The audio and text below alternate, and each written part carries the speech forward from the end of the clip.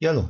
Wir schauen uns in diesem Video an, wie man statische Eigenschaften und auch Methoden setzen kann. Diese sind natürlich nicht immer hilfreich und entsprechen jetzt auch nicht so wirklich der Objektorientierung wegen dem statischen Verhalten. Aber manchmal sind sie doch sehr hilfreich, denn man möchte nicht immer eigene Objekte in den Klassen anlegen, nur um zum Beispiel, wie wir jetzt hier einfach mal geschrieben haben, einen Footer zu erzeugen. Ja, so der, der kann ruhig statisch bleiben, können wir in mehreren Klassen dann auch benutzen oder sonstiges damit anstellen und den müssen wir nicht immer instanzieren und somit würde sich der statische dann eher anbieten. Ja, und das funktioniert auch schon hier wunderbar, wie Sie sehen können. Das ganz normale mit der Hilfsklasse, dem Objekt und dem Aufruf über das Objekt und wie gesagt, jetzt zeige ich Ihnen, wie man das statisch hier machen kann. Also Public Static Function, mache den Footer, haben wir ja ihn genannt hier. Und ja, jetzt brauchen wir das Objekt hier überhaupt nicht mehr. Also, können wir wegnehmen. Wunderbar.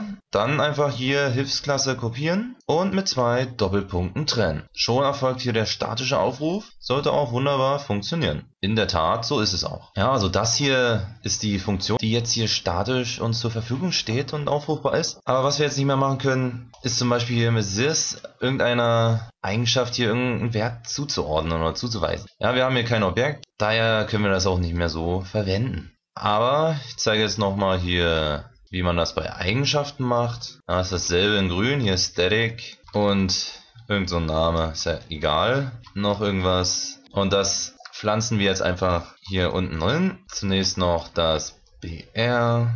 Ja, und jetzt schreiben wir einfach unsere Hilfeklasse und greifen hier einfach auf den Zusatz zu. Ja, das hier funktioniert erst einmal nicht. Das zeige ich jetzt mal kurz. Ja, wir sehen hier Undefined Class Konstant und Zusatz. Ja, also was wir aus den Objekten kennen, ist hier nicht der Fall. Ja, hier in dem statischen Aufruf muss zwingend ein Dollarzeichen verwendet werden. Schauen wir uns mal den Unterschied an. Noch etwas, wunderbar. Klappt also. Na, jetzt gibt es aber noch ein paar Probleme.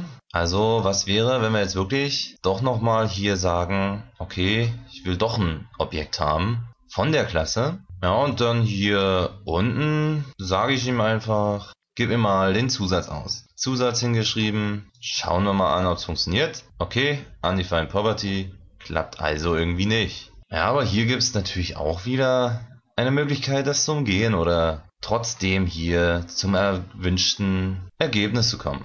Dazu schreiben wir eine neue Methode hier in der Klasse. Diese ist natürlich wieder öffentlich, aber diesmal nicht static. Ja, wir sagen einfach, ich will den Zusatz also schreiben wir auch get Zusatz oder sowas ähnliches. Ja, und hier wollen wir dann zurückbeliefert bekommen. Und hier ein neues Schlüsselwort, self. Ja, self im Zusammenhang mit static liefert uns dann quasi den Zusatz, den wir oben definiert haben, einfach zurück. Und jetzt sollte das eigentlich klappen, wenn wir jetzt hier unten dann auf die Methode zugreifen wollen. Ja, ich blende das hier mal aus, nicht dass wir es zweimal bekommen. Schauen wir mal, ob es funktioniert hat und noch etwas. Das klappt also nur mit Hilfe des Schlüsselworts self im Zusammenhang mit dem static. Also wenn Sie solche Hilfsklassen hier schreiben wollen, dann gibt es hier immer ein paar Kleinigkeiten zu beachten. Und ich würde sagen, das hier zu static und Eigenschaften und Funktionen im Zusammenhang.